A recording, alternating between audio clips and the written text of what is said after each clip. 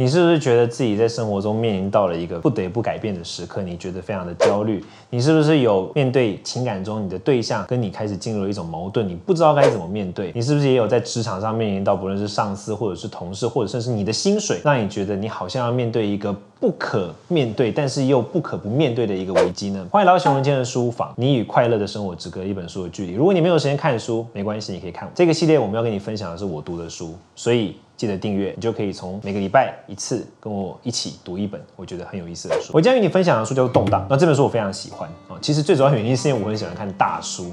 我喜欢看那种非常丰厚的读物，讨论历史、哲学、政治。这本书是比尔盖茨在去年的夏季书单之一。他讨论的其实是国家的动荡，他讨论了大概六到八个国家，每个国家面临到危机跟动荡的时候，这个国家是如何改变跟如何面对。但是他在一开始谈到了所谓的个人危机的处理，我们要如何面对个人危机跟如何去处理它，这是一门专业的学问。就当我们面对危机的时候，透过于心理学的技巧，要如何去面对它的一个学问。这一套学问或这一套方式。其实是可以适用到国家、个人，甚至于我们每个人日常生活中的所有的我们觉得麻烦的危机跟问题。而这一个方式总共有十二个步骤，当然十二个步骤很多，我今天没有跟你讲这十二个步骤，我今天要跟你讲的是其中最重要的三个步骤。但是在讲这三个步骤以前，我要先跟你分享简单的两件事情。第一个，谁适用？第二个。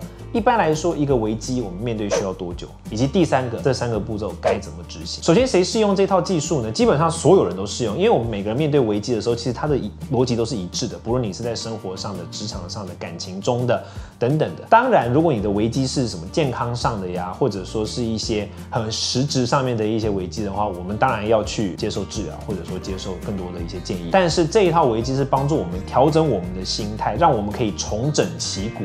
可以正确的去面对它，所以基本上是适用所有人。根据研究，一般来说，我们一个人从接触到危机，无论是财务上的危机，或者说婚姻上的危机，或者是家人丧失之后的那种痛苦，这一趟危机从我们开始面对到它，到完全的几乎康复，或者说可以正常的生活，大概是六个礼拜的时间。有一个很重要的概念事情是，所谓的面对危机，并不是完全无感。我们必须承认，危机就像是一条线，把我们过去的生活，把我们过去的自己跟未来的自己画。化成了两个人，这个危机对我们的影响一定会存在于未来，但是也不代表它就会彻底把我们给杀掉，会毁掉。我们会从过去的自己加上这个危机而得以重生。其实“危机”这个字非常有趣，特别在中文里面，“危机”嘛，“危”是指危险，“机”是指机遇，所以每一次的危机其实都是让我们面对一次的转变。我们能不能够把握这一次的转变，让我们更加成长才是重点。所以接下来我会从三个重点、三个步骤，也就是刚刚讲到的十二个步骤之中最重要的三个步骤来跟。你分享面对所有危机的时候，你都可以适用的三个很重要的步骤跟心态。第一个步骤叫承认危机。你不要看承认危机听起来很简单啊，承认危机其实很不容易。我们常见的方式就是否认它。承认危机是在很多场合中都会很难被呈现的。比如说有些人就不愿意去做健康检查，他明明身体已经不舒服了，但他不愿意去。有些人面对到对方已经不再爱他，但他不愿意面对。有些人面呃面对到了比如说家人丧失的痛苦，他其实痛苦，但是他不愿意承认自己痛苦，他会觉得我只要否认就没有我。印象很深刻，是我前阵子看了一部剧，然后里面有一个家人，他的爱人离世，然后他的家这个家人对这个爱人的情感是非常复杂的。他的身边的朋友跟他讲说，如果你恨他，你会比较好过。很有意思哦，这就是我们不愿意去承认我正在悲伤，不愿意承认自己面对了危机。这个危机是有可能是实际的，有可能是心灵层面的。这才来到一个重点，就是我们往往搞不清楚观点与现实。观点是什么？观点是我们对一件事情的价值判断，现实就是现实。比如说，我现在。很悲伤，这是一个现实。但是观点是什么呢？观点是，如果我悲伤，我就会被瞧不起；如果我悲伤，我就是懦弱；如果我悲伤。我就无法从政，我就会一蹶不振，这些都叫做观念。我们有时候不愿意承认现实，因为我们被观念给捆绑。所以第一步是必须承认自己现在面临到了危机，这是我们在解决所有危机的时候的第一步，其实也也是最重要的一步。那我可以给你一个很简单的方式，就是你要分清楚什么是观念，什么是现实。观念是一种价值判断，就是好或坏；现实是一个陈述。所以我现在。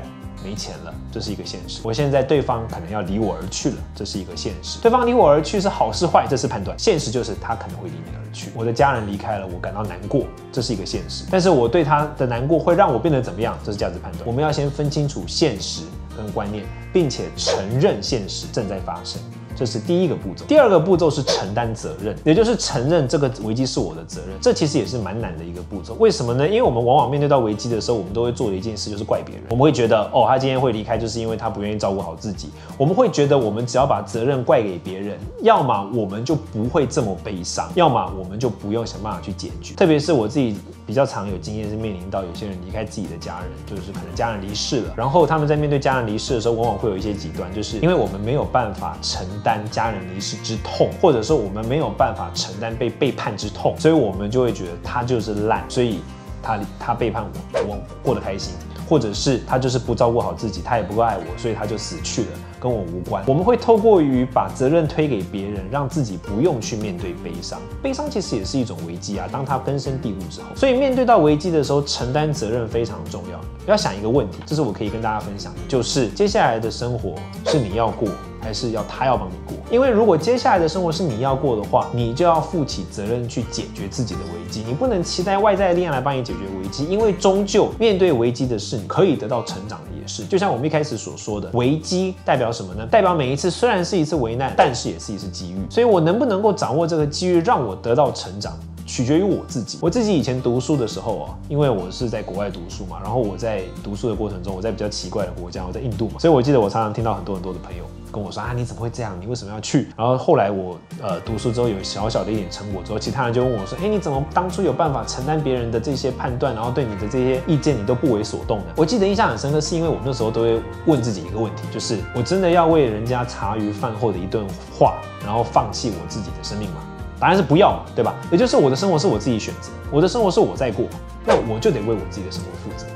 这是第二个重点，也就是你要承担危机。第三个是最重要的重点，叫做建立围篱。什么叫围篱呢？围篱就是把东西围起来的那个东西。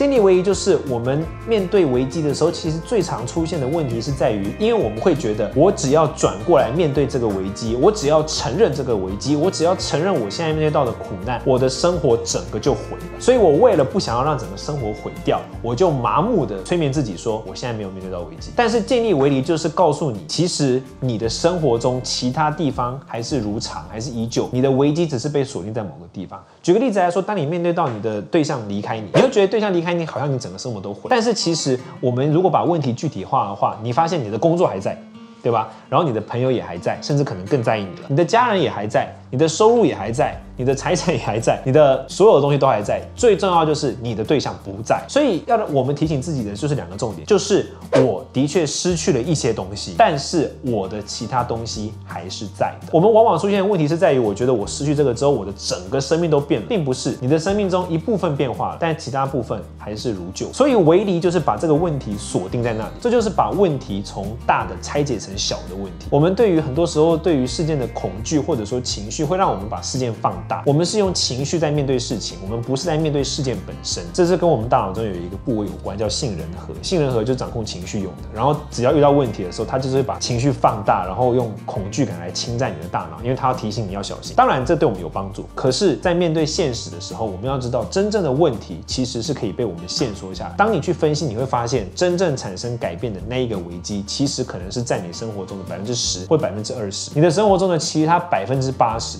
没有太大的变这是一个很重要的开端，因为当我们把问题变小之后，我们才有办法去解决它，不然我们就不敢面对啊，因为我们就会觉得我的整个生活就毁，因此我们就变得麻木不仁，或者甚至于感到恐惧就逃避，而无法把握一个危机，把它变成转机。当然，除了这三个步骤之外，还有其他的九个步骤，在《动荡》这本书里面都有提到很很清楚跟很详细。只是那九个步骤不是全然你每次都会用上，有一些情况你可能需要用到三个，有些你可能用到五个。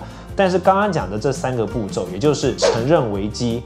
承担责任，还有建立围篱，是我们面对所有危机要把它变成转机、正面成长、正面理性去看待的时候都不可或缺的步骤。那我个人是非常爱动荡这本书啦，因为我很喜欢读大的国家的史料嘛。因为我常常在讲讲，就是说我觉得大的国家的政治问题其实都是一个每一个每一个个人的展现，所以从大的之中我们可以看到个人的问题跟个人要如何面对生命问题的这种方式。这也是呃熊仁坚的书房想与你分享，就是我自己会读的这种很厚的大书，我自己从里面看到的。跟哲学有关的东西，想要与你分享，这是做这个呃节目的初衷。你觉得这三个步骤里面哪一个步骤最困难？或者说你觉得哪一个步骤对你来说，你觉得在你日常生活中，或者说你面对危机的时候，你觉得最有用？那你可以跟我留言，跟我分享。甚至于对于这一系列的书，你有没有其他你读过，你觉得很有趣，想听听我观点的，你也可以留言在下面。在这支影片发出的二十四小时之内，我都会每一条呃针对每一条留言进行回复。那我们下次见喽，拜拜。